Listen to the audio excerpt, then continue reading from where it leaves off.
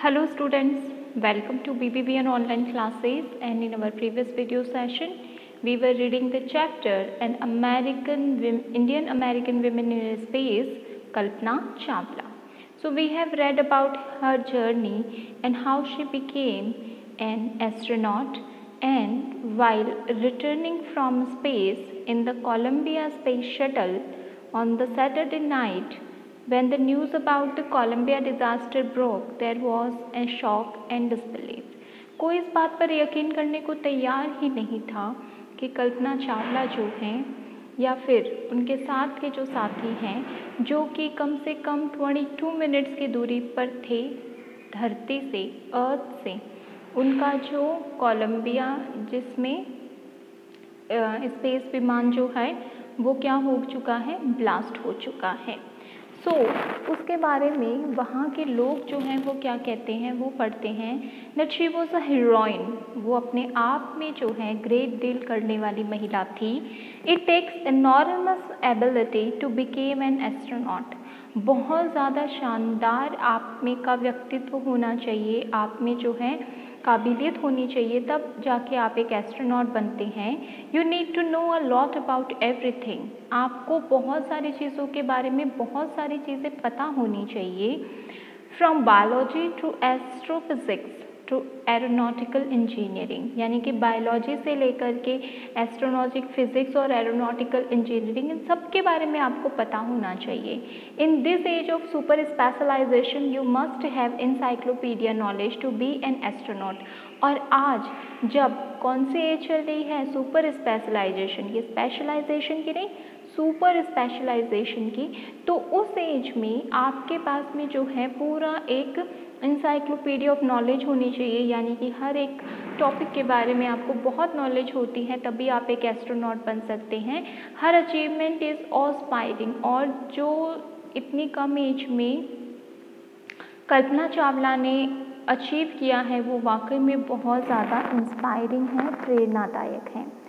For million of young Indians बहुत सारे लाखों भारतीयों के लिए the story of Kalpana Chawla एक कल्पना चावला की जो कहानी है a girl from a small town who touch the skies एक छोटे से गाँव की महिला, एक छोटे से गाँव के लड़के जिसने स्पेस में जाकर के जो है, वहाँ तक की जर्नी करी है हैड बिकम एन इंस्पिरेशन वो आज एक प्रेरणा का स्रोत बन चुकी हैं। In a message that she send from abroad the space shuttle Columbia to students of her college in Chandigarh Kalpana set एक मैसेज दिया था उन्होंने, उस टाइम पर वो स्पेस शटल कोलंबिया में थी, यानी कि उस स्पेस के अंदर थी। उस टाइम पर जो है, उन्होंने चंडीगढ़ के कॉलेज के जो स्टूडेंट्स हैं, उनके लिए एक संदेश दिया था और कल्पना कहती हैं the path from dreams to success does exist कि हमारे सपनों से लेकर जो सफलता का रास्ता है, बिल्कुल है, इसी दुनिया में है। May you have the vision to find it the courage to get on to it आपको बस क्या चाहिए? एक दृष्टि चाहिए, एक करेज चाहिए, हौसला चाहिए कि आप उसको अचीव कर सकें। And wishing you a great journey और इस जर्नी में मैं आपको सबसे पहले क्या करना चाहती हूँ? बहुत ज़्यादा शुभकामनाएँ देना चाहती हूँ कि आप अपने सपने को पूरा करें और एक सफल, कामयाब व्यक्ति बने। There will surely be many who starts off on this journey to fulfill their dreams. और आज भी बहुत सारे ऐसे लोग होंगे जो इस तरीके के सपने देखते हैं और उन्हें पूरा करने में लगे रहते हैं सो क्वेश्चन आंसर जो हैं, वह भी हम देख लेते हैं so the first question is where was Kalpana Chawla born तो she was born at Karnal in Haryana why is she called an Indian American उन्हें जो है इंडियन अमेरिकन क्यों कहा जाता है? She was born in India but marry to an American and became a naturalize citizen that is why she called an Indian American क्योंकि उनका जन्म तो हुआ था भारत में और उन्होंने शादी की थी एक American say that is Y उनको क्या कहा जाता है? इंडियन अमेरिकन यानी कि उन्हें दोनों देशों की नागरिकता जो है वो प्राप्त थी। Second question when and why did she go to the U S who did she marry वो यूएस क्यों गई थी? After completing her bachelor degree in aeronautical engineering she went to the US for master degree in aeronautical engineering तो भारत में रहकर जो है, उन्होंने एरोनॉटिकल इंजीनियरिंग जो थी, उसमें बैचलर की डिग्री ले ली थी, लेकिन मास्टर्स की डिग्री के लिए वो यूएस गई थी। She married to an American Jean Pierre Harrison who was a flight instructor और उन्होंने शादी की थी अमेरिकन व्यक्ति से, जिनका नाम था जीन पैरी हैरिसन जो कि फ़्लाइट इंस्ट्रक्टर का काम करते थे। The third question how did she became an astronaut कि वो एस्ट्रोनॉट कैसे बनी? What gave her the idea that she could be an astronaut और किस बात से उनको, किस चीज़ से उनको ऐसा लगा कि वो एक एस्ट्रोनॉट बन सकती हैं? So, after completing her bachelor degree in aeronautical engineering, she went to the US for master degree in aeronautical engineering. She earned her PhD in aerospace engineering and was selected by NASA for training as an astronaut in 1994. तो जब उन्होंने aeronautical engineering में बैचलरशिप की, फिर master की degree करी, उसके बाद में उन्होंने पीएचडी करी तो नासा ने जो है 1994 में उन्हें एज एस्ट्रोनॉट ट्रेनिंग देने के लिए सेलेक्ट कर लिया था people around her always encourage to become what she wanted और हमेशा जो लोग उनके आसपास थे, वो हमेशा उनको एनकरेज करते थे कि वो वो इंसान बने जो वो वाकई में बनना चाहती हैं The next one is, what abilities must an astronaut have according to the journalist. Journalist के अकॉर्डिंग एक एस्ट्रोनॉट में क्या क्या खूबियाँ होनी चाहिए।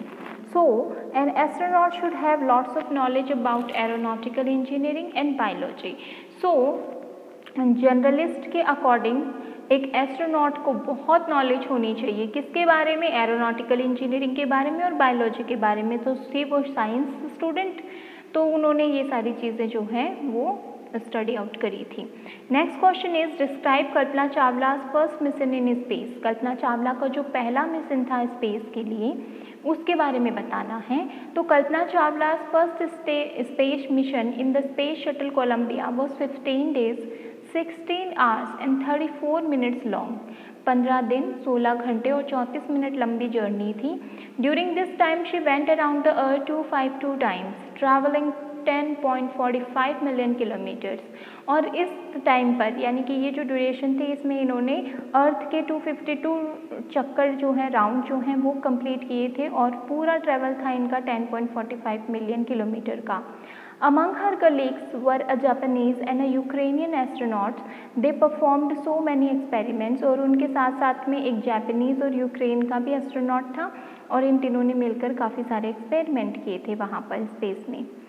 What does Kalpana Chawla say about pursuing a dream? Do you agree with her that success is possible?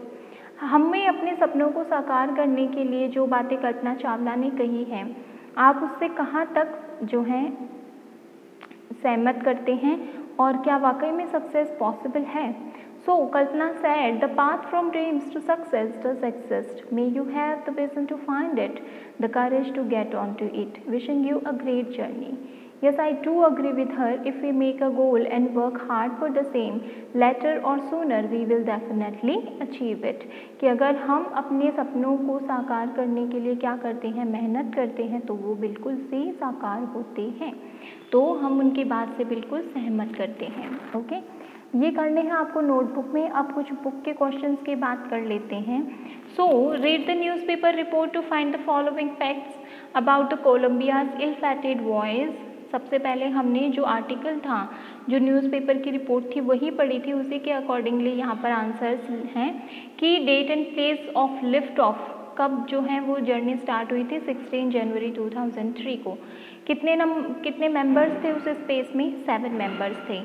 और कितने डेज़ रह गए थे? अबाउट 16 डेज़ यानी कि 15 days 16 hours and 34 minutes number of experiments done by scientist यानी कि 80 experiments किए थे उन्होंने डेट ऑफ़ रिटर्न जर्नी एक फरवरी 2008 height at which it lost contact किस हाइट पर जाकर कॉन्टैक्ट जो हैं वो चला गया था हाइट थी टू लैख ठीक है फीट देन हम नेक्स्ट क्वेश्चन की बात करें अगर तो ये मैच द फॉलोइंग वाला है मैच द फॉलोइंग में आपको जो है चीज़ें मैच करनी हैं।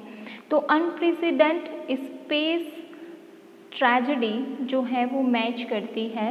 A sad accident of a kind that has never happen before in space second one जो है, वो है सर्टिफाइड फ़्लाइट इंस्ट्रक्टर इसका मतलब है a person with the correct qualification to teach people to fly planes then third one जो है, वो मैच करता है स्पेस मिशन किसे कहा है? A set of job to be done in space by a group fourth one is super specialization super specialization जो है वो मैच करता है great expertise in a limited field और a particular subject encyclopedia knowledge का मतलब क्या है? इंसाइक्लोपीडिया नॉलेज जो है उसका मतलब है having knowledge of a wide variety of subjects then awe inspiring का मतलब है something that cause feeling of respect and wonder and in this age का मतलब है नाउ डेज़ या फिर इन दिस टाइम्स तो ये आपको जो है बुक में ही करेक्टिफाई करने हैं okay then we have the next one that is use these phrases in sentences of your own after finding out their meaning. तो मैं मीनिंग बता देती हूँ आपको इनके। कि मीनिंग क्या क्या है और यही चीज़ जो है यहाँ पर एक एक एग्ज़ाम्पल के थ्रू भी दी गई है, जो कि मेनली आपको समझने के लिए काफ़ी है।